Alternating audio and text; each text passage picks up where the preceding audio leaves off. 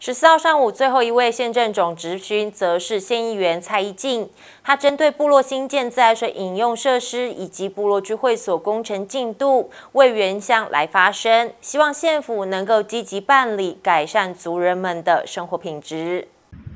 来自光复乡马滩部落的县议员蔡义进，十四号则是针对部落建制自来水设施迟迟没有下文，影响到部落族人们的生活品质。另外，针对寿丰乡、凤林镇和光复乡等部落聚会所工程进度和设置，来向县府移民出来咨询。这次呢，我的咨询重点哦，最主要还是放在我们的自来水哦，不管是自来水或简易自来水哦，或者排水的部分，还有我们的呃部落聚会所。因为自来水呢，我们常常呢都会遇到一些相关法规上或者是经费上面的限制啊。那现目前进从今天的这个咨询当中，也得到了善意的回应哦。现在县府呢也在呃想尽方法，用这个呃专案的方式，或者去撰写这个计划书去争取经费，所以。呃我们在这三年间呢，其实会看了很多的部落，不论是在呃凤林的这个三星中心，或者是寿丰的水莲啊，还有这个米站，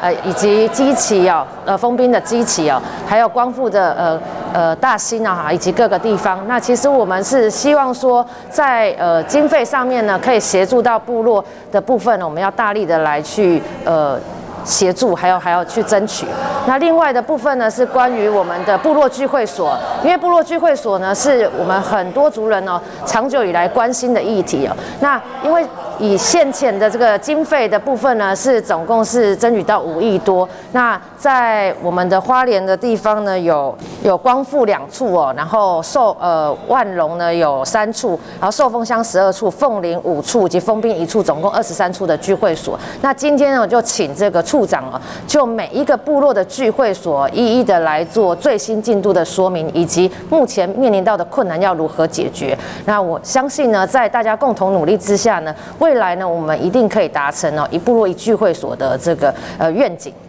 县财经表示，部落聚会所可以说是族人们亲切期盼的重大工程。